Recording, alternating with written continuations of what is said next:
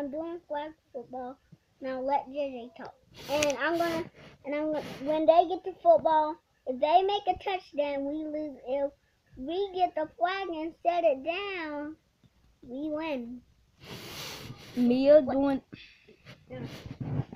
Mia's doing gymnastics. Lily doing gymnastics. This won't be the part of the video I said I was playing football. And it's called I'm playing football, just to let you know. And don't prank on LeBron. Hopefully he don't watch it this. Okay.